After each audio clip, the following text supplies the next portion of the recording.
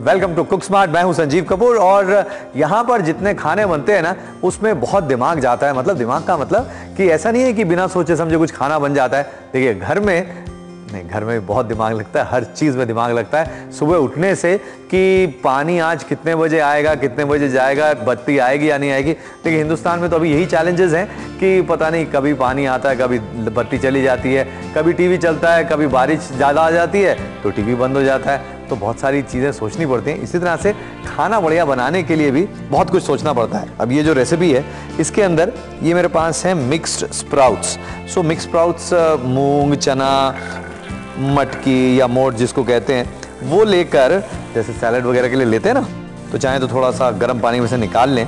और फिर इसके अंदर हम डालेंगे भुना मसाला। ये सब्ज़ी वाला भुना मसाला, ये ले लेते हैं। और ये इसके अंदर डालते हैं। अब ये जो मैं बना रहा हूँ ना स्टार्टर के रूप में इसको हम बनाएँगे। थोड़ा सा इसके अंदर पानी ताकि अच्छी तरह से मिक्स हो जाए मसाला, और फिर इस पानी को हमने सुखाना है। ये जो भुना मसाला है, बाज़ार में आसानी से मिल जाता है। ये सब्ज़ी वाला भुना मसाला मैंने लिया है, और इसके अंदर बाकी प्याज वगैरह सब भुन के, अदरक वगैरह सब डला हुआ है। सारे मसाले इसके अंदर पड़े हुए हैं तो इसलिए कुछ डालने की ज़रूरत नहीं है। बस इसको कुछ देर पकने देते हैं और ड्राई करना है इसे हमने।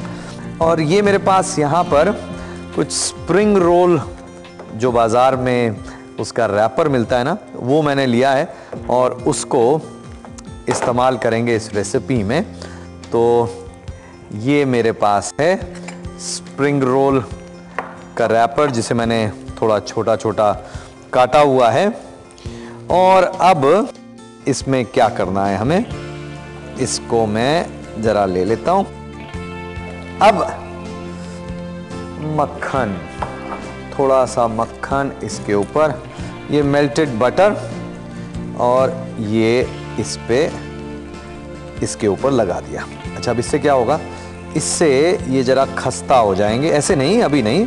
पकने के बाद में। ये मेरे पास है, कुछ ये लीजिए। सिलिकॉन के ये रहे मेरे पास मोल्ड्स।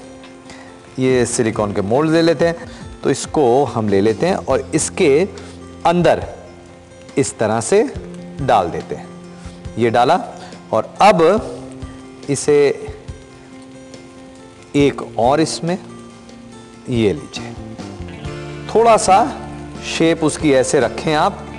आप चाहें तो एक और रख सकते हैं। थोड़ा सा बीच में से दबा दें। ये ले लिया। इसी तरह से ये जितने हैं, नीचे पहले दबाया। और ध्यान रखें कि क्या हाल चल रहा है इधर। बीच में ज़रा सा मिक्स कर लें। मसाले के साथ में ड्राई तो हो गया। है बस, ये ड्राई हो गया। इसको बंद करते हैं। और ये जो हमारे पास मक्खन लगी हुई है ना, ये ले लेते हैं। ये मक्खन लगने से ये क्रिस्प हो जाएँगे, खस्ता हो जाएँगे। ये हो गया। ये कर लिया हमने तैयार। और अब हमारे पास ये जो मिक्सचर है, ये तैयार है। इसको इसमें डालते हैं। तो मिक्सचर मसाले वाला, भुना मसाला जिसमें हमने डाला वो इसके अंदर ये डाला। और अब, बहुत ज़्यादा नहीं भरे इसे। अब एक काम करना है। ये कुछ मेरे पास है चीज़। चीज़ के पीसेस इस तरह से। बहुत ज़्यादा मोटा नहीं, बहुत ज़्यादा पतला भी नहीं। तो नॉर्मल प्रोसेस चीज़ ये ले लिया। और अब ये हमारे पास कुछ हैं मिर्च। तो मिर्च कौन सी वाली है ये? हेलोपिनो पेपर्स हैं। हेलोपिनो पेपर्स के ऊपर। और इसके बाद ये जो हेलोपिनोज हैं इसको हमने बस ये लीजिए। ऑलमोस्ट छुपा सा दिया है। ये आ, फिर क्या करना है? इसको बेक करना है। बेक करना बहुत आसान बहुत जल्दी से हो जाएगा ये। तो ये इसको रख लेते हैं हम। एक प्लेट में ट्रे में किसी में भी आप रखें।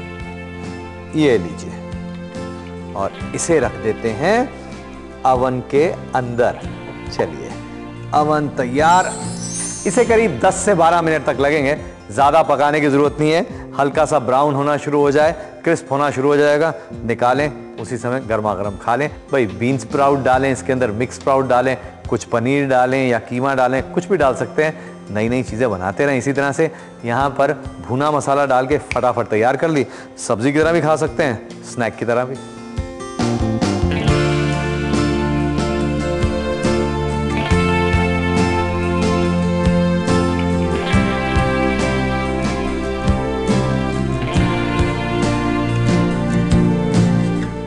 मिक्स्ड स्प्राउट्स कप्स बनाने के लिए 200 ग्राम विभिन्न स्प्राउट्स ब्लांच किए हुए 130 ग्राम भुना मसाला, पिघला मक्खन आवश्यकता अनुसार दो स्प्रिंग रोल रैपर्स, दो इंच की चौकोन कटे हुए 50 ग्राम चीज़ और एलोपिनो पेपर स्लाइस आवश्यकता अनुसार मिक्स्ड स्प्राउट्स कप्स बनाने के लिए अवन को 180 डिग्री सेल्सियस तक गर्म करें। एक नॉन स्टिक पैन में स्प्राउट्स डालें, उसमें भुना मसाला और आधा कप पानी डालकर अच्छी तरह मिलाएँ और सूख जाने तक पकाएँ। सब स्प्रिंग रोल के टुकड़ों पर पिघला हुआ मक्खन लगाएँ। हर सिलिकॉन मोल्ड में स्प्रिंग रोल के दो से तीन टुकड़े रखें और उन पर मसालेदार स्प्राउट्स डालें। चीज़ के पतले स्लाइस करें और उनके छोटे छोटे टुकड़े करें। हर मोल्ड में कुछ एलोपिनो पेपर स्लाइस डालें और उनके ऊपर चीज़ के टुकड़े रखें। अब इन मोल्ड को एक ट्रे पर रखें और गर्म ओवन में रखकर 10 से 12 मिनट तक बेक कर ले। मोल्ड में से निकालकर गर्मा गर्म परोसे।